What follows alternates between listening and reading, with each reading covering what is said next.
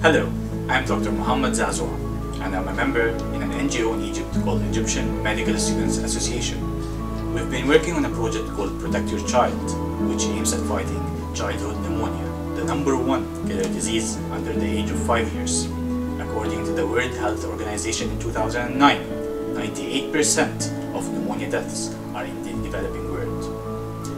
Egypt alone, the annual number of under 5 deaths is 42,000 children, according to the UNICEF in 2009. Our project focuses on two main lines of action health awareness campaigns and vaccination campaigns.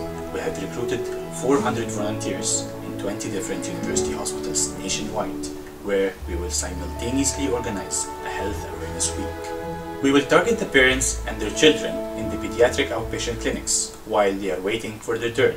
But we will not inform them that this is a health awareness campaign, but rather a competition, the winner of which will receive a prize for his or her child. The competition is in the form of a simple paragraph handed to the parents, which contains health awareness tips on how to prevent pneumonia, followed by multiple choice questions tackling the same information provided in the paragraph. What they won't be informed is that everyone is a winner and there is actually no competition.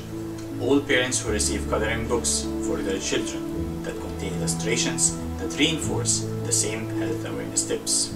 The book is in the form of an interesting story called Montasser Overcomes Pneumonia and it has been prepared by senior students from the School of Fine Arts, particularly for our project. We will also vaccinate at least 1,000 high-risk children using pneumonia protecting vaccines.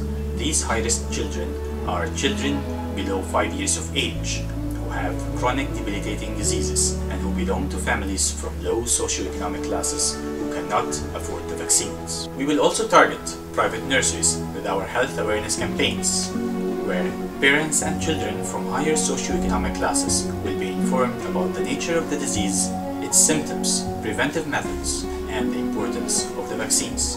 In this case, these parents can afford the vaccines, and our sessions will help them to protect their children. Therefore, our project aims at creating public awareness regarding childhood pneumonia, as well as spreading awareness about the importance of the vaccine. We aim at reaching 5,000 parents and 5,000 children with our health awareness campaigns, in addition to vaccinating 1,000 high-risk children. We are doing this because it is the children's right to be protected against preventable diseases. We are doing this because it is the right of every child to live healthy and safe.